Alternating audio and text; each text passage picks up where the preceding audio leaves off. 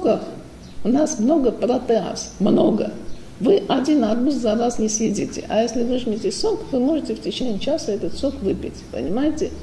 И в нем концентрированное количество протеаз. То есть, а протеазы есть не только в наших клетках, они есть в клетках любого живого организма.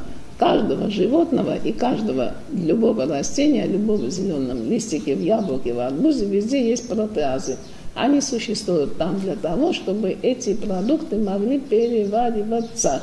Они, вот что такое? Мы едим яблоко, мы едим арбуз, что такое? Ведь почему говорим, вот сыроедение, да? А почему сыроедение лучше, чем обычная вареная еда? Там причин много очень, но одна из причин та, что когда мы едим сырые продукты, они сама перевариваются. Достаточно очень небольшое количество желудочного сока, чтобы началось расщепление вот этих ну, клеток яблока и любого сырого продукта, расщепление клеток. А если клетки расщепляются, то есть желудочный сок расщепляет клеточную оболочку, да? Если клетки расщепляются, из них начинают выделяться те же лизирующие ферменты. Из каждой клетки, любой живой клетки, это будет растительное или животное, все равно. Вон, есть люди сырое мясо едят, говорят, сырое лучше. Ну, сырое лучше, но если кушать сырое, так ешьте. Но лучше не кушать сырое мясо. Если кушать мясо, лучше кушать сырое. Но лучше его не кушать никогда, потому что это и неэтично, и это вредно. Сырое мясо тоже антиген. Понимаете, а сырое яблоко уже не антиген, отнюдь. Так вот, разрушаясь, сами лизирующие эти ферменты, сами растворяют, расщепляют яблоко и любую ткань растительного происхождения. И потому мы имеем еще очень большую экономию наших ферментов, что, конечно, очень идет нам на пользу. Ведь мы почему стареем? Потому что мы без конца тратим свои ферменты на пищеварение. Это одна из причин нашего старения. И другая причина, что мы едим мало того, что тратим ферменты на расщепление вареной еды, да еще от нее мы энергии не получаем, от вареной еды мы энергию не получаем. Мы получаем только пластический материал, строительство нашего организма.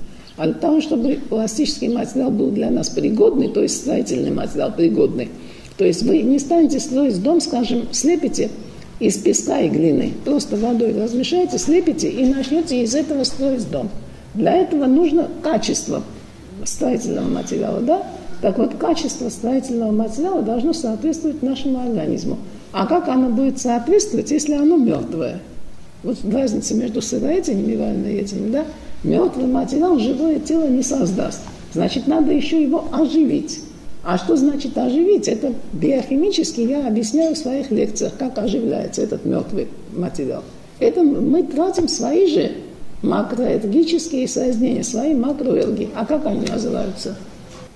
Выделяется в это время тепло, окисляется пищевой субстрат, выделяется энергия, которая аккумулируется, собирается при синтезе химического вещества, которое называется аденозин-трифосфорная кислота.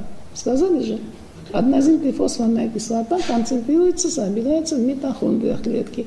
Так вот, вот это она мы создали, в общем, запасли ее в наших митохондриях, в наших клетках – а теперь мы съели. Опять мы съели что-то вареное. А как его оживить, как его превратить в пригодный материал, это надо потратить наши же энергетические ресурсы. А энергетический ресурс – это аденозин и фосфорная кислота. Значит, она должна выйти, расщепиться, отдать свою долю энергии этому продукту. Будь это сахар, будь это хлеб, будь это что-нибудь, что бы ни было.